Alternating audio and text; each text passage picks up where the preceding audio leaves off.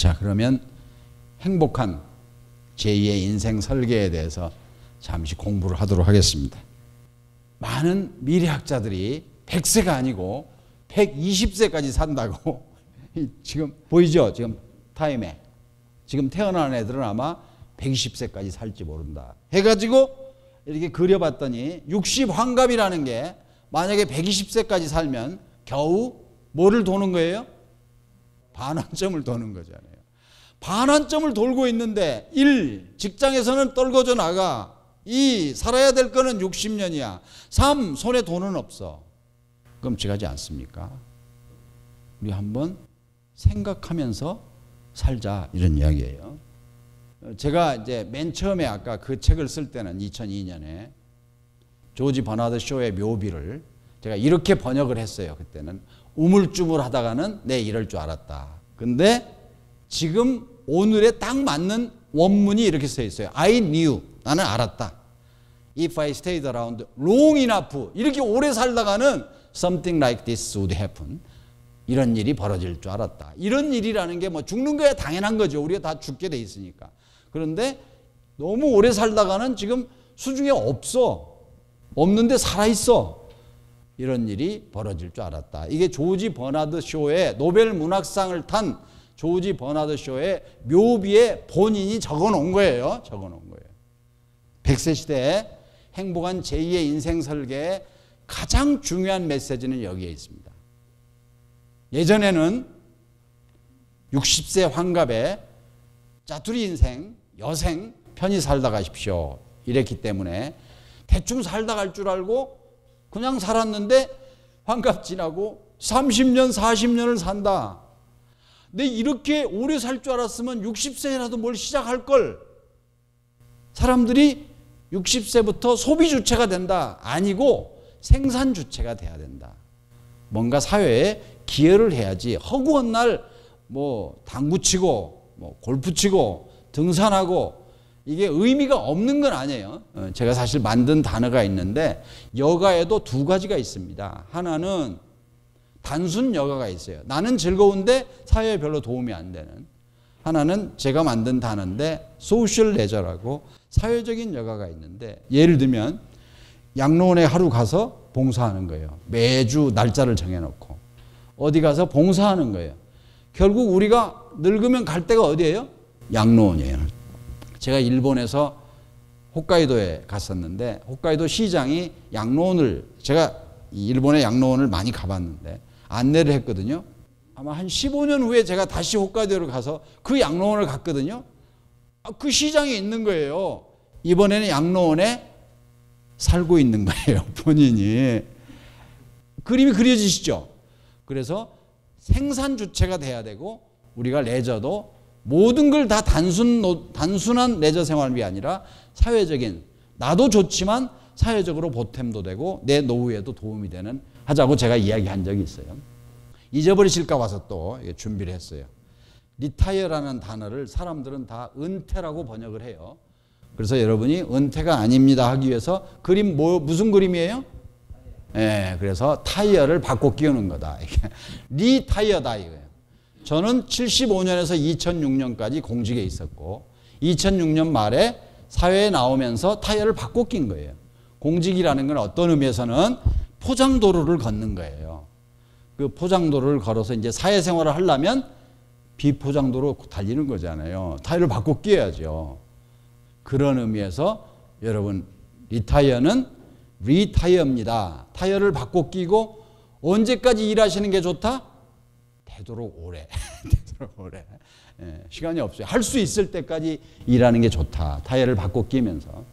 한 달 전에 잠실 롯데에서 90세 할머니가 니트 인형 작가예요. 90세 할머니가 전시회를 했어요. 잠실 롯데 그 비싼 데서. 누구랑 했냐? 60세 딸과 30세 손녀딸하고 3대가 해가지고 중앙일보에 한 면이 났어요. 한 면.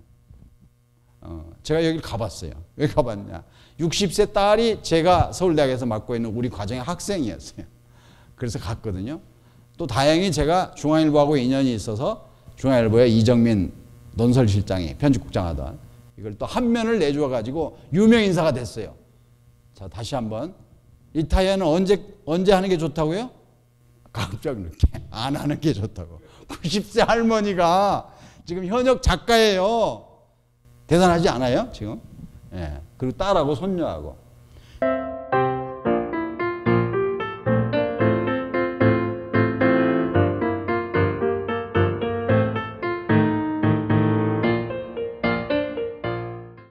생산 주체가 되려면 어떻게 해야 되느냐?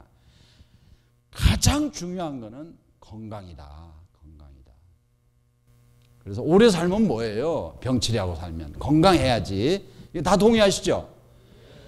두 번째는 자기가 그때까지 쌓아놓은 경륜, 지식, 지혜 이거를 활용해야 된다. 그리고 거기서 생긴 소득을 어떻게 부로 불리느냐. 요 세 번째 이야기를 먼저 하고 넘어가려고 그래요. 많은 사람들이 소득 격차와 빈부 격차를 잘 이해를 못 해요. 혼동을 해요.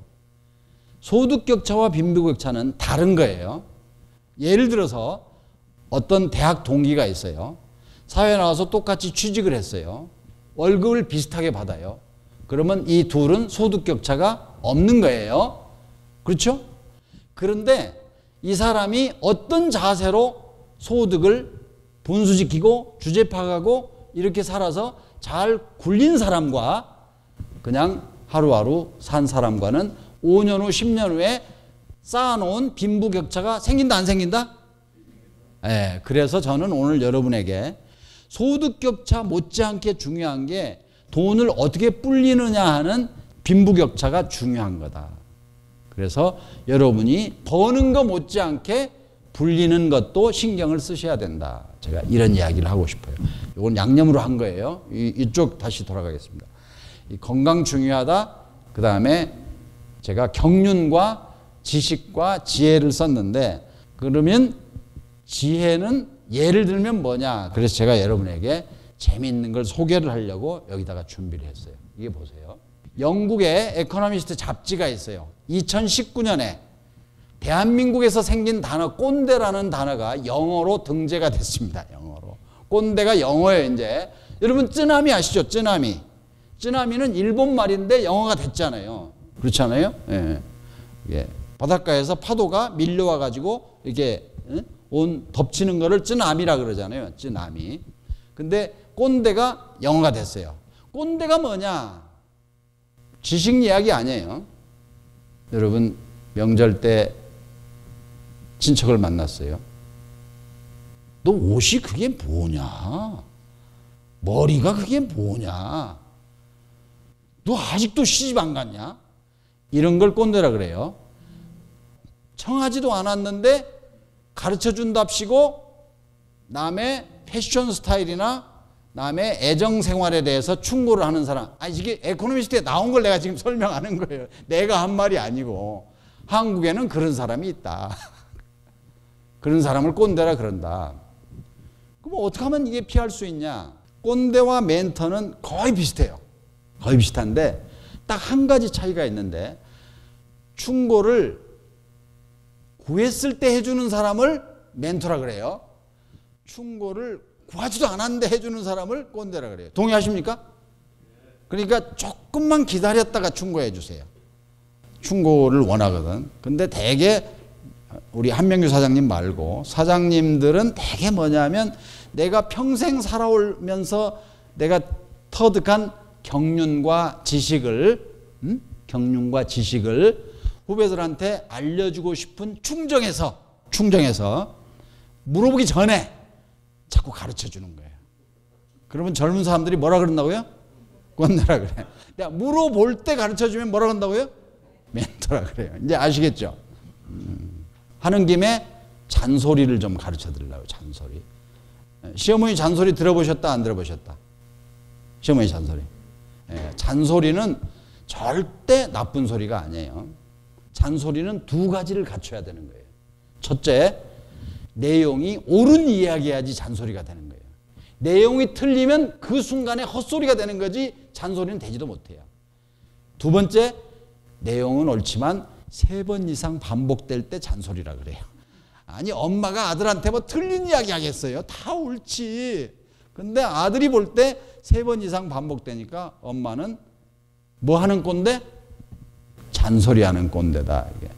시어머니가 허리가 쑤시면 며느리한테 그래요. 오늘 비 올라나 보다. 장독 덮어라. 하도 많이 들어가지고 이제 시어머니 잔소리해요. 그런데 시어머니 돌아가시고 그 해에 비가 왔는데 장독에 물이 들어간 거야. 이제 그때 시어머니의 잔소리가 그래 옳은 이야기였구나 알게 된다. 우리는 꼰대가 재림합시다.